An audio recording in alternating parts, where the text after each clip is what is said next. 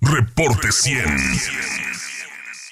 En Sonora hay una comisión de estatal de búsqueda de personas, eh, la comisión eh, estatal de búsqueda de personas que eh, su titular fue nombrado en febrero pasado por el Congreso del Estado y le agradezco al doctor José Luis González Olivarría que esté con nosotros esta mañana en Reporte 100. José Luis, ¿cómo está? Buenos días. Buenos días, Juan Carlos. Gracias. por la invitación. Un saludo para ti, a tu auditorio. A ver, tengo, un, eh, poquito, tengo un poquito de problemas con, con escucharte, como que está muy lejos, como que se corta, ¿eh? A ver, eh, vamos a intentar, si no, retomamos la comunicación, si le parece, José Luis González. Eh, dígame, ¿cómo es que buscan a un desaparecido en esta comisión? ¿Cómo buscan a una persona desaparecida?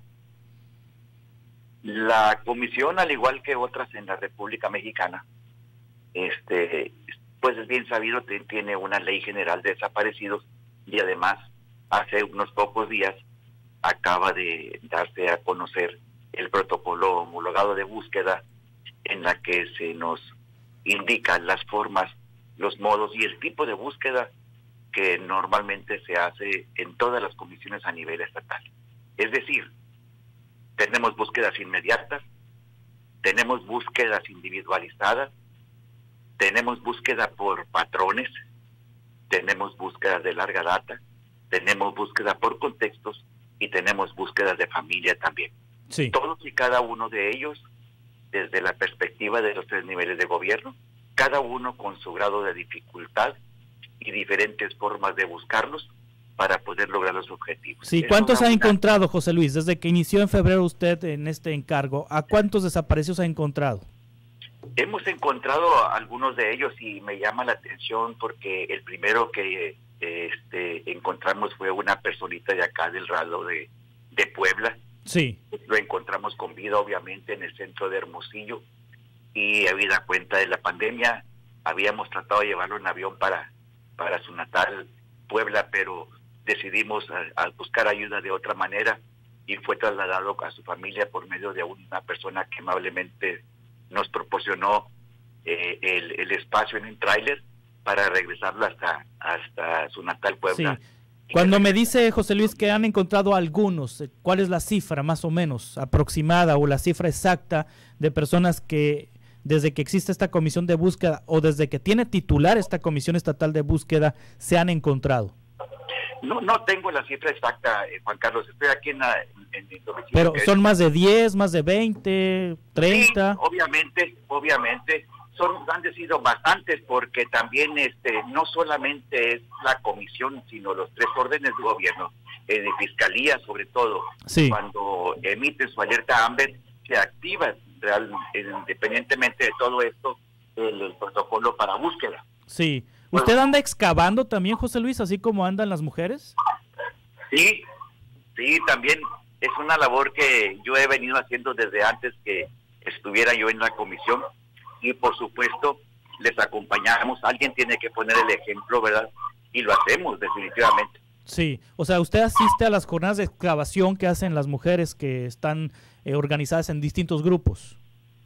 Claro, no en todos los, no en todos los las veces, por supuesto, pero yo yo acudo con ellas, a veces les acompañamos, porque no todo el trabajo de la comisión es estar en campo. Tenemos otro tipo de actividades también dentro de las oficinas, como lo mencioné al principio, o son las búsquedas individualizadas, sí. que estas son para buscar a una persona en particular por alguna carpeta de investigación que haya en la fiscalía y en conjunto con fiscalía lo hacemos tenemos las búsquedas, las búsquedas inmediatas que son aquellas que se emiten inmediatamente, actuamos en consecuencia. Y pues eso no es excavar. Tenemos las búsquedas por patrones y por contextos, que también es el trabajo de oficina, y tenemos que llevarlo a cabo desde la perspectiva de las tecnologías que se que se con que se cuentan para dar con el paradero de las personas. Sí. Sí, este José Luis González Olivarría, en esta comisión estatal de búsqueda de personas hay personal para realizar excavaciones, hay personal para eh, sustraer los restos, hay personal para analizar los restos que encuentran en fosas clandestinas.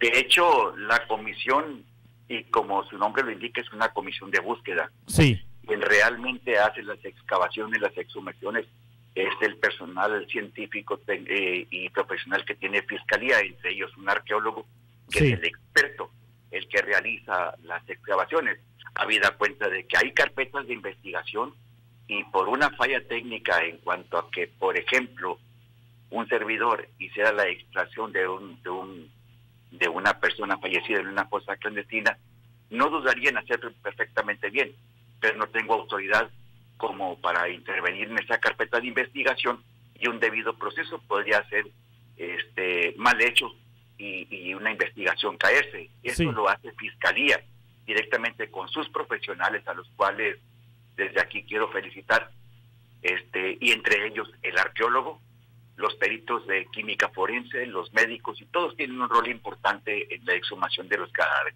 Sí, ahora José Luis González Olivarría, ¿cuántos grupos de búsqueda hay eh, de estos que están en varios municipios eh, integrados eh, sobre todo por mujeres? Así es, y sobre todo por mujeres, ¿verdad? Sí. ¿Cuántos son? ¿Son siete, ocho grupos? Escasamente hay, hay hombres en estos grupos. Hay colectivos de rastreadoras está, eh, para el rumbo del sur están rastreadoras y este, también están guerreras buscadoras, pero además ahí en, en, Ciudad Obregón también hay un grupo de buscadoras, pero en vida. Ellos buscan en vida. Tenemos el grupo de madres buscadoras que tiene algunas filiales en diferentes partes de la entidad. Tenemos el grupo de rastreadoras eh, pues, este, por La Paz, también aquí en Hermosillo. Tenemos guerreras, además también acá en Hermosillo, poblado Miguel Alemán tenemos el grupo de, pues, de Puerto Peñasco también, este, familias buscando sus tesoros. Eh, son los grupos que tenemos conocimiento que hay aquí en Sonora. Sí. De hecho, estos grupos, así como están conformados, eh, se, se, forman otros grupos del, del, mismo colectivo en otros municipios también, ¿verdad? Pero esos son en general los que existen. Sí, eh, estas mujeres reciben apoyo de las autoridades, es decir, cuando reciben ellas eh, pues el pitazo, el tip, el trascendido de que eh, un cuerpo está ahí enterrado en una fosa. Pues, eh, esta semana en, una colonia de Hermosillo, un grupo de, buscadoras localizó el cuerpo de quien se cree es el hijo de una integrante de esta organización, ya será la fiscalía la que compruebe, pero en esos casos la fiscalía estatal acompaña a estas buscadoras a realizar las tareas de, exhumación? Sí, definitivamente, definitivamente tiene que ser fiscalía, como lo mencioné hace un momento, con su equipo de profesionales este, dedicados a ello, ¿verdad? Sobre todo ese, el arqueólogo. El arqueólogo no tiene otra cosa más que hacer, más que procesar una cosa clandestina con el debido proceso y la metodología arqueológica para no perder ninguna evidencia. Lógicamente, nosotros también eh, acompañamos, como digo, no en todos los casos, yo estuve en el caso particular, ¿verdad? En este, en este lugar. Sí, sí. ¿Usted asistió a esa, a esa búsqueda? No precisamente a la búsqueda, a la búsqueda no, pero sí fui al lugar este, en, en, acompañamiento al, colectivo, en acompañamiento a los peritos de la fiscalía, ¿verdad? Sí. Este, y hacer la presencia de parte de la comisión para constatar el hecho. Sí, al día de hoy, 17 eh, de septiembre, ¿cuántas personas tienen reporte de desaparecidas en, en el estado de Sonora, José Luis González Olivarría? el, el, dato el dato se encuentra en el portal, yo tengo la, la en la oficina el, este la estadística, allí porque es una nos dan una un acceso único para para cada comisión, está en la oficina el dato. Sí, este cada día cada día se está se está, moviendo actualizando así es. Pero son más de mil son más de dos mil son, más de dos mil y cada día se está se está modificando. Hacia la baja a la alza o no se modifica dependiendo de la actividad que, que haya en, en, la República Mexicana. Y digo en la República Mexicana porque en el portal hay un portal público donde la gente puede hacer sus denuncias directamente sin tener que acudir a la comisión local o a la fiscalía. Sí.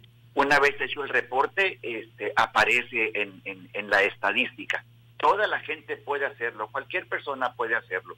Sí. Este, es cuestión de entrar a la, a la página de la Comisión Nacional de Búsqueda y se efectúa el reporte. Una vez hecho el reporte, la propia comisión lo, lo analiza y nos lo envía, si fuera el caso para Sonora, nosotros lo analizamos nuevamente y lo aceptamos y le damos seguimiento. Muy bien, entonces hay que entrar a la página de internet de la Comisión Nacional de Búsqueda y ahí reportar la desaparición de alguna persona. Ahora, eh, José Luis González Olivarría, ¿dónde están físicamente aquí en Hermosillo? ¿Dónde está la Comisión Estatal de Búsqueda de Personas? Actualmente estamos en una ubicación muy muy cómoda que está en Ocampo número 23, entre el doctor Hoffer y Tehuantepec, en la colonia Centenario. Sí. Y este, estamos a la espera de que se nos adapten las oficinas directamente en el centro de gobierno y toda vez que pues se requiere ciertas condiciones, sobre todo para la tecnología y, dar resultados. Entonces están adaptando a, a la necesidad de la propia comisión. Muy bien. Doctor José Luis González Olivarría, titular de la Comisión de Búsqueda de Personas para el Estado de Sonora, de Personas Desaparecidas, muchas gracias eh, por contarnos lo que está haciendo esta comisión. En su momento este, habrá la oportunidad de hacerlo si usted así lo requiere. Este, no dude que estaría a sus órdenes. Un saludo y un abrazo para ustedes. Gracias, doctor. Que esté muy bien.